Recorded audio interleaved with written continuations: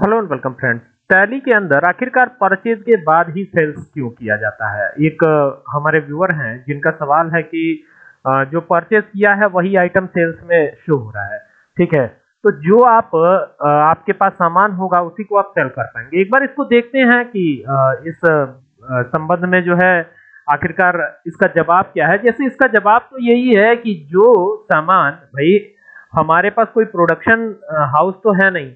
जहाँ हम प्रोडक्शन करते हो हर एक चीज़ का। ठीक है? अगर आप दुकान खोलते हैं शॉप खोलते हैं चाहे वो होलसेल की शॉप हो या अ, कोई भी शॉप हो ठीक है लोकल शॉप हो तो उसमें भी आप क्या करते हैं? उसमें भी जो है आप सामान कहीं से मंगाते हैं। ऐसा नहीं है कि आपके यहाँ प्रोडक्शन का काम होता है। तो पहले हम एक काम करते हैं पहले यहाँ से कंपनी बनाते हैं यहाँ क्रिएट कंपनी पर जाकर के और एंटर करता हूँ तो क्रिएट कंपनी वाला फॉर्म खुलता है। और यहाँ पर प्रोडक्शन सेंटर के नाम से प्रोडक्शन सेंटर ही कर लेते हैं प्रोडक्शन सेंटर ये हो गया प्रोडक्शन सेंटर तो प्रोडक्शन सेंटर के नाम से कंपनी बना रहा हूँ, ठीक है?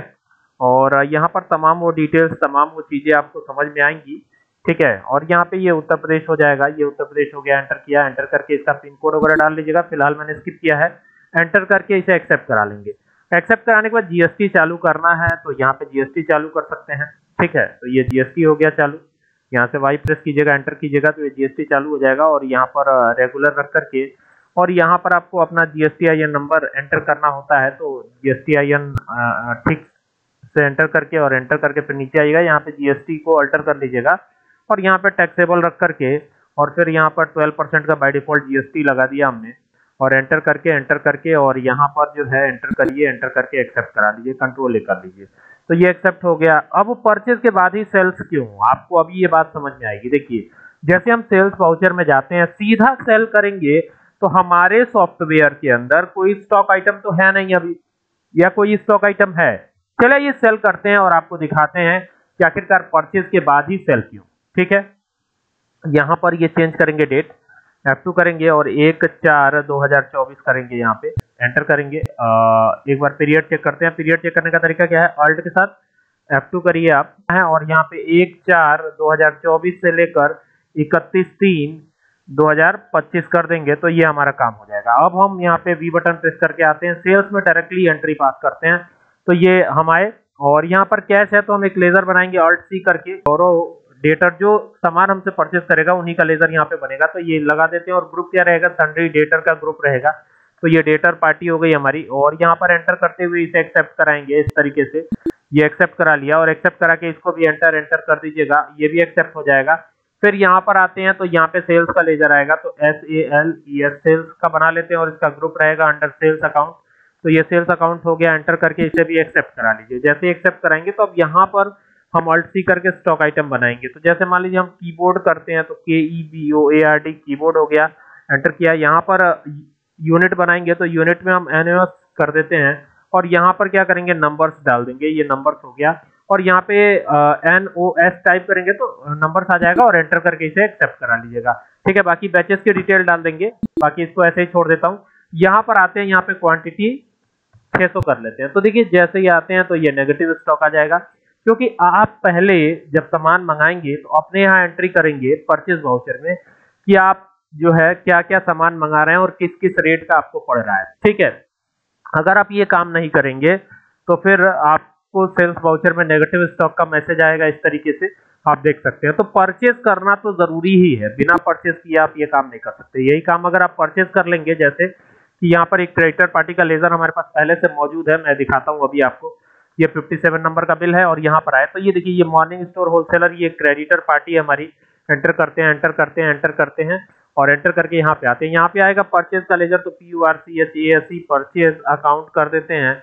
ये हो गया परचेज अकाउंट इसका ग्रुप भी रहेगा परचेज अकाउंट ये ध्यान दीजिएगा। ये परचेज अकाउंट हो गया एंटर किया एंटर किया एंटर किया और एंटर करके इसे एक्सेप्ट करा लिया। जब एक्सेप्ट करा लेंगे तो यहाँ पर कीबोर्ड जो स्टॉक आइटम हमने बनाया था, अब इसको हम परचेज कर रहे हैं और हमारा परचेजिंग रेट है दो सौ रुपए। दो सौ रुपए में हम परचेज कर रहे हैं। बाकी नीचे जीएसटी आप लगा सकते हैं, चाहे तो सीजीएसटी का लेजर बनाते हैं। और यहाँ पर ये जाएगा ड्यूटीज़ एंड टैक्सेस में तो यहाँ से आप ड्यूटीज़ एंड टैक्सेस कर लीजिएगा इसको। और ये जीएसटी है, ना ही टीसीएस है, ना ही टीडीएस है, ये तो जीएसटी ही है। और यहाँ पे नॉर्मल राउंडिंग रखते हुए टीडीएस हमें अभी लगाना नहीं है तो यहाँ पर इसे एक्सेप्ट कराइएगा। तो ये सीजीएसटी आ गया। यहाँ पे आप सीजीएसटी के साथ एसजीएसटी यानी state goods and service tax भी लगता है तो ये भी लगा करके जीएसटी करके और यहाँ पर आ जाइएगा स्टेट टैक्स पर और यहाँ पर एंटर करके इसे भी एक्सेप्ट करा लीजिएगा। तो यहाँ पे देखेंगे कि सीजीएसटी और एसजीएसटी दोनों लग गया है। अब यहाँ पे न्यू रेफरेंस आएगा। न्यू न्यू रेफरेंस रखते हुए इसे एक्सेप्ट करा लीजिएगा। नरेशन भी आप डाल सकते हैं। मैंने इसमें स्किप किया है। अब जब कि आप सेल करने जाएँगे तो यहाँ पर अब आपको दिक्कत नहीं आएगी। तो इससे आपको ये 100 परसेंट क्लियर रहेगा कि आपको आखिरकार पहले परचेज का जो हिसाब किताब है, ये रखना क्यों ज़रूरी है अपने सिस्टम में? सीधा सेल नहीं कर सकते आप। परचेज तो करना ही होगा। तो अब यहाँ पर मान लीजिए पाँच स्टॉक आइटम हम सेल कर रहे हैं तो यहाँ पर कोई भी नेगेटिव स्टॉक नहीं आएगा और एक 400 का मान लीजिए सेल किया तो यहाँ पे देख सकते हैं और बाकी सीजीएसटी एसजीएसटी भी आ जाएगा। तो ये सीजीएसटी हो गया, ये एसजीएसटी हो गया और यहाँ पर एंटर करके और यहाँ पर इसे आप एक्सेप्ट करा लेंगे। तो बड़े ही आसानी के साथ ये एक्सेप्ट भी हो जाएगा। देखिए, ये एक्सेप्ट हो गया। तो कुछ इस तरीके से ये हो जाएगा और यही सही मेथड है, ये याद रखिएगा। सीधा आप सेल करेंगे तो आपके पास तो कुछ है ही नहीं तो वो तो नेगेटिव स्टॉक बताएगा।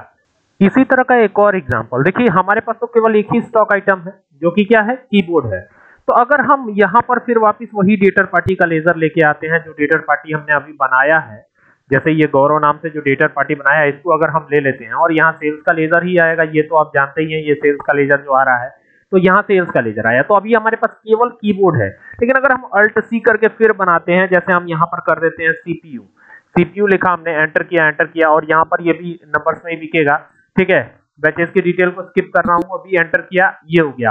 अब मान लीजिए सीपीयू पाँच ही क्वांटिटी ले लेते हैं, पाँच ही छोड़िए। देखिए, पाँच पे ही नेगेटिव स्टॉक आने लगा। लेकिन अगर एक भी ले लेते हैं, ध्यान दीजिएगा, यहाँ पर एक भी क्वांटिटी अगर सीपीयू की लेते हैं तो यहाँ पर देखिए क्या आ रहा है ये।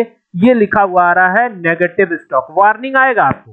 ठीक है? अगर आपके में ये वार्निंग एक्टिवेट नहीं है तो ये वार्निंग नहीं दिखेगा आपको, लेकिन ये तो गलत एंट्री मानी जाएगी। इसी तरीके से टैली ईआरपी नाइन में भी है।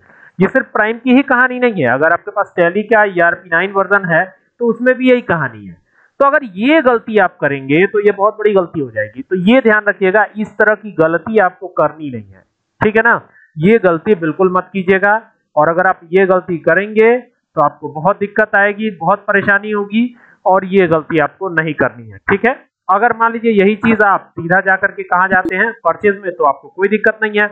यहाँ पर आए, परचेज वाउचर में आए और परचेज में जैसे ही आते हैं तो यहाँ सप्लायर द्वारा दिया गया इनवॉइस नंबर डालेंगे और यहाँ पर उस जो होलसेलर पार्टी है उसका लेजर आ जाएगा और एंटर करके एंटर करके इसे एक्सेप्ट कराइएगा और यहाँ पे परचेज अकाउंट का लेजर आएगा। अब सीपीयू यहाँ लगाते हैं तो यहाँ पाँच ही सीपीयू हमने परचेज करा और एक सीपीयू पड़ा कितने का खरीद रेट यहाँ पे डाल देते हैं हम, तीस हज़ार रुपए का।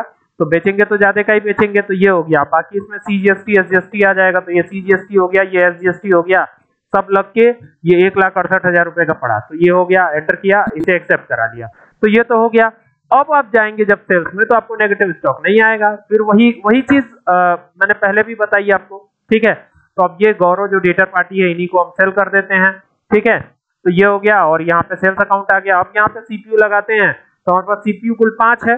लेकिन अगर ये भी ध्यान दीजिएगा कि अगर आप पाँच के बजाय छह सीपीयू सेल करेंगे तो नेगेटिव स्टॉक आएगा। और यहाँ पे देखिए माइनस एक नेगेटिव स्टॉक दिखा रहा है। देखिए तो अगर यही पाँच कर देंगे तो पाँच में कोई नेगेटिव स्टॉक नहीं आएगा, एक दो में कोई नेगेटिव स्टॉक नहीं आएगा, ठीक है? तो ये कहानी है सेल्स की और परचेज की।